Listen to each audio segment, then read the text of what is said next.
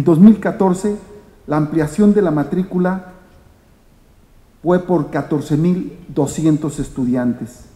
Si sumamos estos a los del primer año, juntos hacen poco más de 20.000 estudiantes en los últimos dos años. Ocho de cada diez aspirantes ingresan al nivel medio superior.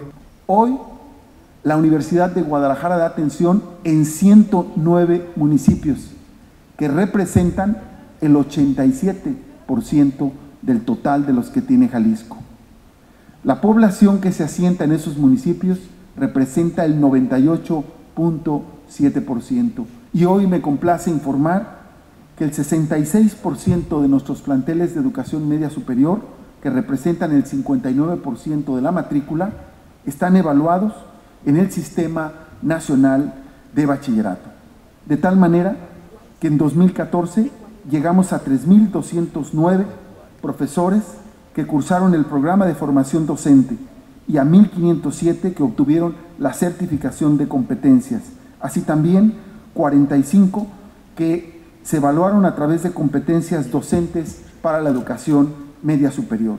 También hemos mejorado en la cualificación de profesores y su reconocimiento como perfil deseable de lo que antes se llamaba PROMEP y ahora se llama Programa para el Desarrollo Profesional Docente, llegando a la cifra récord en 2014 de 2.381 profesores reconocidos, evaluados por la Secretaría de Educación Pública a través de este instrumento. En materia de investigación y posgrado, crecimos de nueva cuenta en cuanto a miembros del Sistema Nacional de Investigadores y del Sistema Nacional de Creadores, pasando de 765 a 854.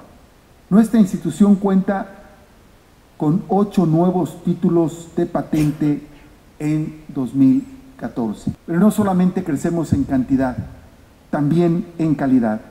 Tuvimos 119 eh, programas, cifra récord en 2014.